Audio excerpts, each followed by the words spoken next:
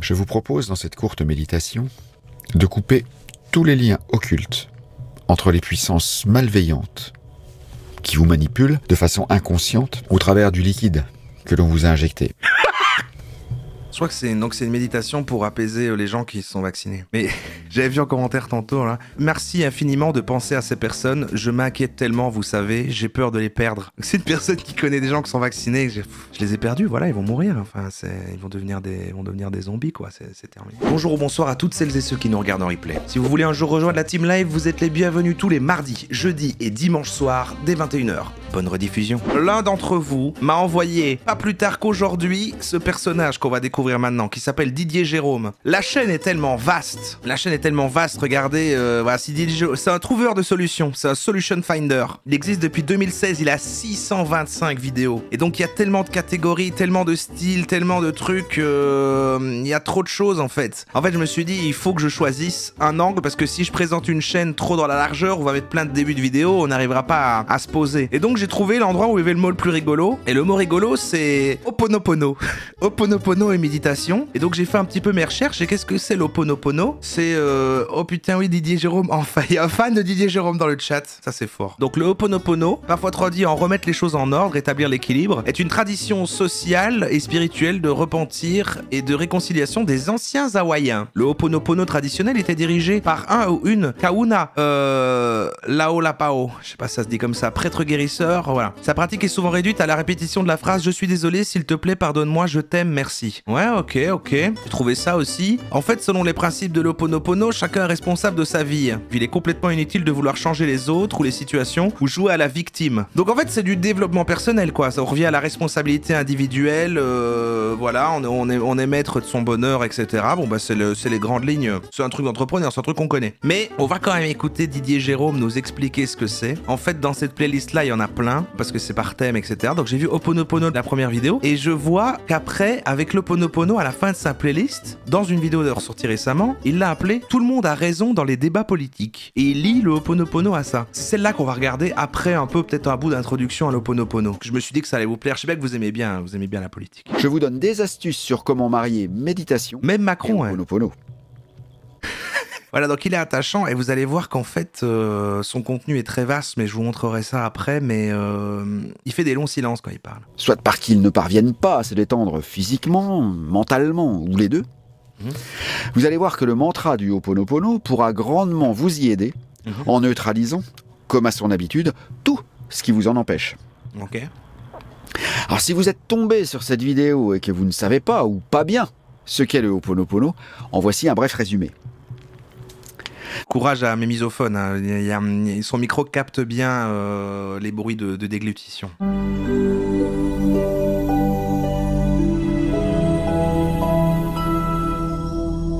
Ho'oponopono, au départ, est une philosophie Et il a une DA et une petite approche euh, dans le style, euh, je sais pas, il y a un truc. de pardon Ouais. aux autres et à soi-même Ouais. qui permet d'améliorer notre état émotif en demandant l'effacement en nous de ce qui cause le problème étant à la source de notre malaise.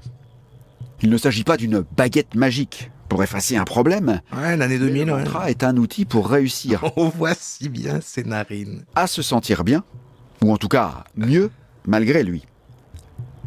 J'ai tout ça reptilien, dans une reptilien. cinquantaine de vidéos. Aussi, je vous encourage à aller les voir et revoir avant de poursuivre si vous êtes nouveau. Ah ça, c'était pas l'introduction à l'Oponopono, mais je suis littéralement dans la, dans la... Mes livres, publiés au Dauphin Blanc et sur mon site, vous y aideront tout autant. Didier Jérôme a deux passions qu'il partage allègrement avec le public. La première est la musique. Il est d'ailleurs bassiste, chanteur et compositeur. Vous verrez euh, par rapport à ça après. Son autre passion est la spiritualité au sens très large, incluant tout ce qui touche euh, le bien-être de l'humain. Il est également Reiki 3, c'est un maître Reiki 3, notamment par sa chaîne YouTube sur laquelle il diffuse de courtes vidéos concernant des sujets religieux, non, relatifs à la spiritualité. Tu caches. Ah, Didier, arrête, tu, tu caches le, le truc de ton livre. Le présent ouvrage, son premier en fait, se veut la retranscription d'une série de vidéos sur l'Oponopono. D'accord Donc venons-en au Il a fait. écrit ça lui-même. Comment se détendre efficacement pour méditer tout aussi efficacement grâce aux bienfaits du Ho'oponopono avec mantra? C'est parti. Le principe de la méditation est avant tout mental. Donc il y a de la méditation où il mélange, euh, c'est une méditation, comment détendre le corps, les autres muscles, ouais bon ok. Or, nous n'avons aucun contrôle physique sur le mental, contrairement au corps. Par exemple, si vous êtes plus fort physiquement ou aussi fort physiquement que quelqu'un, vous pouvez l'immobiliser jusqu'à ce qu'il se calme et qu'un dialogue puisse être amorcé. Ouais. Avec le mental, c'est impossible. Nous n'avons aucune prise physique là-haut. Oui, c'est vrai. Ouais, Nous ne ouais. pouvons agir qu'indirectement. En suivant cette loi humaine, un corps physique détendu détend le mental et vice-versa. Enfin voilà, vous avez compris l'idée de l'Oponopono. Euh, globalement, Wikipédia expliquait mieux. Je suis désolé, s'il te plaît, pardonne-moi, je t'aime, merci. Donc c'est un truc de, de réconciliation. C'est un peu un truc pour éviter le conflit. Euh, T'es d'accord avec tout le monde, euh, tu t'écrases. Bon, un peu un truc de victime. Je pense que le gars qui a euh, qui avait fait Liège là, il a dû faire ça. Mais j'avais envie de voir celle-là, moi. Tout le monde a raison dans les débats politiques. Qu'est-ce qu'il va dire par rapport à ça? Peut-être que ça va vous éveiller, que vous allez faire. Mais ouais, c'est vrai. Mais c'est vrai en fait. Souvenez-vous de l'école des fans. Cette émission très populaire le dimanche après-midi était animée par Jacques Martin qui accueillait des enfants de tous bords venant interpréter des titres d'un artiste invité lui aussi. Il est très Chaque expressif. se lançait dans Il est très expressif. et les autres devaient le noter. Bien entendu, ces notes étaient purement symboliques. Mais il a pas l'air méchant, en fait, ça se voit, il est passionné, parce que je vous montrerai après encore l'étendue de la chaîne et à quel point il a changé de contenu à plein de moments, parce que je suis remonté dans les vidéos. Ah, c'est vrai que ça fait un, un petit mot de bourré. Ce qui est bien normal. Ah, ça marche très bien.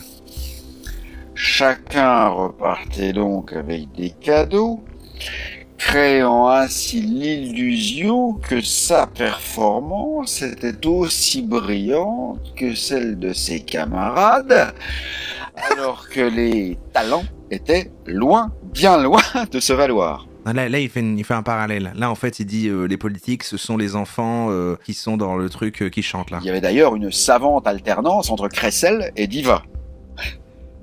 Cette mise en scène était souvent hilarante pour les spectateurs, C'est vrai qu'il a soit de fort la tête en arrière, soit la tête fort en avant. et la production s'en jouait. Non, mais il- il a- c'est un perso. nombreux. Les adultes à la tête de l'émission garantissaient une récompense équitable aux enfants, Mais y épargnant a un son angoissant derrière. propres à la compétition qui ne faisait pas encore, heureusement, partie de leur univers. Ouais. Cette anecdote souligne que chaque interprétation était valorisée de la même façon, peu importe sa qualité réelle, créant ainsi une atmosphère de respect mutuel malgré les différences de performance parfois abyssales. Cette situation illustre comme la comment politique. l'univers traite nos croyances à nous, notre Ah. interprétation, nos convictions, nos actions. L'univers Je vous invite à réfléchir à cela tandis que nous explorons cette idée plus en détail. Mais avant, n'oubliez pas de cliquer sur le petit pouce vers le haut. Moi, je l'aime bien. Vous avez raison, comme tout le monde. L'iceberg. Ah, mais c'est fait le dub.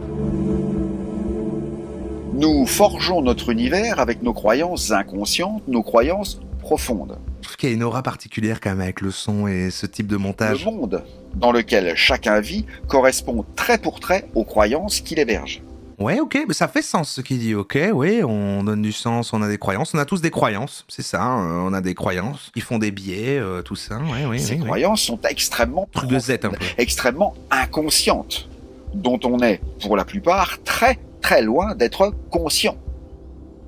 La psyché humaine est un iceberg. Au fil de notre vie, nous remplissons cette partie enfouie avec des idées, des pas concepts auxquels on a adhéré à un moment donné, que l'on a avalisé l'un après l'autre, Ouais. sans nous en rendre compte la plupart du temps. Ah Ils oui se sont installés aux commandes de notre vie, elles la dirigent en toute légitimité et impunité. Vous suivez ce qu'il dit D'accord. Oui, on grandit, on, euh, on a des vérités qui s'installent euh, comme ça, d'accord, ouais. Notre ego, notre intellect, notre conscience consciente a accepté ces croyances comme vraies, et le subconscient en a donc fait ses vérités. Ouais, c'est la, la, théorie de l'iceberg creux. Elles sont devenues l'ADN de notre vie, au travers duquel notre monde s'est manifesté pour ne ressembler à Il est très dans l'image, ouais. C'est cette réalité qu'elle considère comme étant la réalité, l'unique et indiscutable, simplement parce qu'elles ne sont capables de concevoir que celle-ci. Ouais. Les autres réalités leur sont totalement inaccessibles.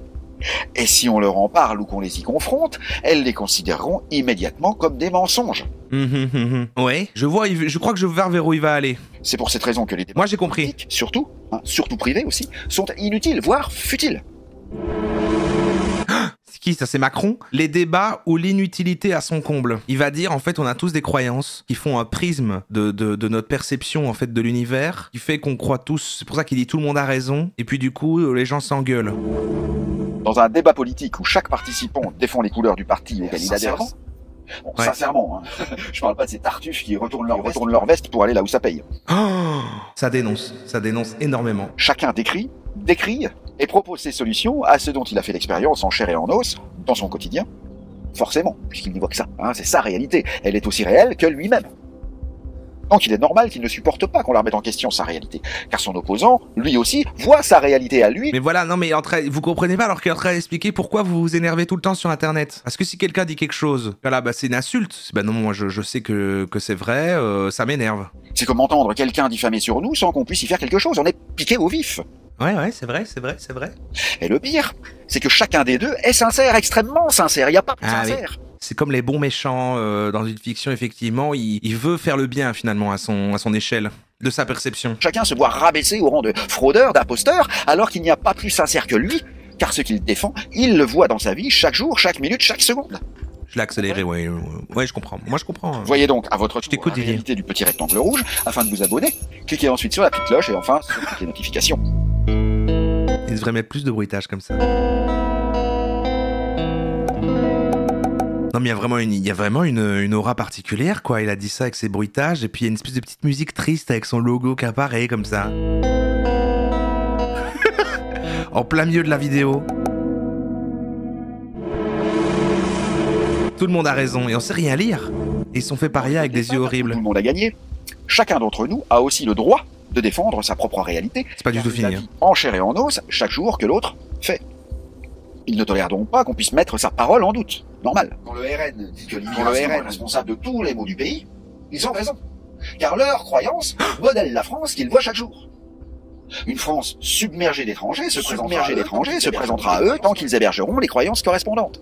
Car ce sont leurs croyances qui ont créé les étrangers qu'ils voient.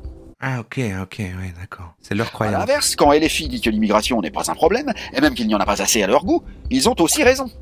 Car les problèmes de leur France à eux viennent d'autre chose, comme le capitalisme par exemple.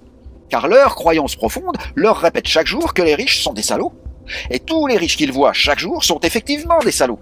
Ah. Donc c'est ça, il dit tout le monde a raison, euh, mais il dit aussi tout le monde a tort. Et en fait, euh, on est tous euh, biaisés, aveuglés par nos propres croyances. Car ils les ont créés eux-mêmes, ces riches-là, avec leurs croyances. Donc tout le monde a raison, tout le monde a gagné.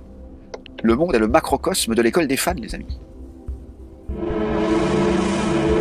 Alors que faire? Ah, il va donner un conseil. Tout Bon, vous me connaissez, hein. décrier sans solutionner n'a pas d'intérêt à mes yeux. le monde s'automatrix. Bah, il est vrai que t'es influencé par tes, tes propres biais, euh, voilà, c'est vrai. conscience de cette réalité, que l'on crée sa vie avec ses propres croyances et rien d'autre. Et que la dite vie ne changera que lorsque nos croyances changeront. Ah. Ma chaîne d'ailleurs regorge de vidéos sur le sujet, vous n'avez qu'à piocher. Oh, on a vu sur le, le, le Le monde fonctionne comme ça depuis que l'homme, avec un grand H, est homme. Nous sommes tous les créateurs de notre propre réalité et nous devons faire avec. Ouais. Mais qu'est-ce qu'on fait de ça conseil est le suivant. Si croire ce à quoi vous croyez vous rend heureux au quotidien, et que vous êtes en santé surtout, bah, c'est que vous êtes certainement sur votre chemin de vie. Auquel cas, restez-y. Défendez vos couleurs, défendez vos idées. Ok. Diplomatie et respect, évidemment, hein, n'allez pas prendre les armes. Mais ne lâchez rien. Si vous êtes heureux dans la vie, c'est que vous êtes à votre place dans cette vie-ci et sur cette terre avec ces croyances-là. Ok. Ok. Et ce, je le rappelle, quelles que soient vos idées. Hein. Bleu marine, bleu clair, euh, blanche, rose, verte, rouge, voire rubiconde ou cramoisie, on s'en fout. Si vous êtes heureux et en bonne santé, ne Il a changez pas mis le. Rubicon cramoisi. En revanche, si vous défendez des idées corps et âme et que ce corps et ou cette âme sont en souffrance, Et c'est quoi les images derrière c'est que vous n'êtes pas à votre place, que vous n'hébergez pas les croyances correspondant à votre chemin de vie, à ce que vous êtes venu faire sur cette terre. C'est ici qu'il faut envisager de changer vos croyances profondes afin qu'elles créent une autre réalité dans laquelle vous vous sentirez mieux, voire carrément bien. Ah, c'est bizarre. Il est en train de dire, en fait, défends tes trucs si t'es euh, à l'aise dedans, mais si de toute façon ça te fait te sentir mal, essaye de voir le monde différemment. euh, non, mais en fait, il y a pas de problème. euh, et on revient. C'est vrai qu'on revient, du coup, à, à l'onoponopono, à l'o- à l'oponopono, comme lui ici, créateur de ce qui lui arrive, il est complètement inutile de vouloir changer les autres ou les situations, joue à la victime. Donc si t'es bien parce que ton combat est ce qui t'enrichit, tu fais. Si ça te met mal, tu fais pas. Mais finalement, tout est un peu vain, tout le monde a raison et tout le monde a tort. Peut-être vous faut-il abandonner des idées, des concepts que l'on vous a fourrés dans le crâne étant petit et que vous défendez encore aujourd'hui bec et ongle, par habitude ou parce que vous êtes entouré de gens qui pensent aussi comme ça, Ah qui ne ouais. correspondent pas ou plus à l'adulte que vous êtes présentement. Et c'est ici que Il a fait un trop long silence là, il m'a terrifié. J'ai cru que je faisais quelque chose de mal, qu'il a, qu'il a su que j'écoutais plus. présentement. Et c'est ici que le Ho'oponopono pourra vraiment vous aider. Voilà. Elle guérit, elle soigne, elle rassure, elle est bénie. Si vous saviez, Hmm. testez et vous comprendrez. Ah, Le silence de tout à l'heure, il était en 1.25. Il, devait être méga long sinon. Je vous propose d'ailleurs des séances individuelles de coaching Ho'oponopono. Ah, il fait du coaching. Non, voilà. Et alors, le gars, le gars est vraiment un perso. Je ne savais pas quoi choisir, en fait. Il y avait trop de trucs. Et du coup, j'ai décidé, ouais, de focus le Ho'oponopono parce que c'était rigolo, mais il y a tellement d'autres trucs, en fait. J'ai envie de vous montrer des petits bouts, des petites choses que j'ai trouvées. Regardez comme il fait peur ici. Et le début est incroyable. Il va y venir. Je vous propose dans cette courte méditation de couper tous les liens occultes entre les puissances malveillantes qui vous manipulent de façon inconsciente au travers du liquide que l'on vous a injecté. Tout comme avec les documents officiels, la carte d'identité, le passeport, la carte de séjour, etc., ces liens invisibles doivent être coupés si vous souhaitez garder votre libre arbitre dans vos opinions, votre façon de consommer et surtout euh, votre bulletin de vote. Eh oui. Cette simple et agréable méditation, faite avec intention et quelques gestes, Je crois que c'est donc c'est une méditation pour apaiser euh, les gens qui sont vaccinés. Mais j'avais vu en commentaire tantôt là. Merci infiniment de penser à ces personnes. Je m'inquiète tellement, vous savez, j'ai peur de les perdre. C'est une personne qui connaît des gens qui sont vaccinés. Je, les ai perdus. Voilà, ils vont mourir. Enfin, ils vont devenir des vont devenir des zombies quoi. C'est terminé. Mais pour que vous découvriez un petit peu, il a un format qui est les choses qui gonflent. Voilà, les trucs qui gonflent. les trucs qui gonflent. Et il fait des coups de gueule, quoi. Il fait des coups de gueule. Il y a par exemple les trucs qui gonflent numéro 3. Et là, voilà, il a fait une trilogie sur les gens en retard. Ma liste de lecture sur les trucs qui gonflent avec cette nouvelle trilogie sur un des trucs qui me gonfle le plus, les gens en retard. Et là, c'est vrai qu'on est plus du podcast, quoi. Une vidéo dédiée car les retards systématiques des gens m'ont causé beaucoup de malaise et même de souffrance tout au long de ma vie. Personnellement, j'ai toujours été ponctuel, même jeune. Et le fait que les autres ne le soient pas, parfois avec moi, m'a toujours beaucoup affecté. On va pas rester plus longtemps, mais voilà, euh, c'était pour montrer qu'il fait plein de formats. Et alors, si on remonte encore il y a des années, voilà ce qu'était la chaîne. Or, muting. Number two. The common and natural rule is the faster the song, the rest version, the better. This in order to alleviate the weight of the fast, low frequency of the bass. Super accent, cela dit, par contre, euh, merveilleux. Mais du coup, il faisait des tutos basses. Now that you technically know what a gallop is, we'll use only two fingers here, index and middle. Once you've understood the theoretical rules explained before, the next thing is to decree which finger for which division of the beat Donc c'est génial. Et euh, juste pour terminer euh, cette petite séquence, euh, la toute première vidéo de sa chaîne, et c'est pour vous dire à quel point il a commencé il y a longtemps, il y a 17 ans. Il y a 17 ans, c'était quand ça? C'est en 2007. C'est littéralement le début de YouTube en fait. C'est genre, euh, on lui a dit, hey, YouTube existe, c'est une plateforme où on peut mettre des vidéos, et lui il l'a fait quoi. C'est dingue quand même. J'avais 3 ans. On va le voir tout jeune. Hein. Qui n'a pas rêvé un jour de pouvoir faire ce qu'il voulait avec son visage? Aujourd'hui, l'Excelsior de Charleville-Mézières nous prête mon gars Samuel qui va vous faire une petite démonstration. Samuel, je t'en prie, c'est à toi. Vas-y, Samuel, je t'en prie. Je vous préviens, c'est drôle, premier degré. hein.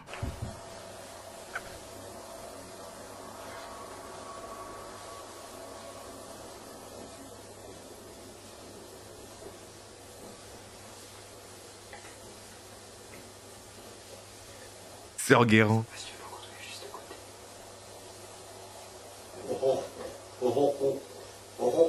Oui.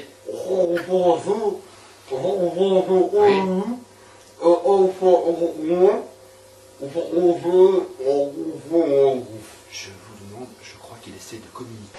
Vous dites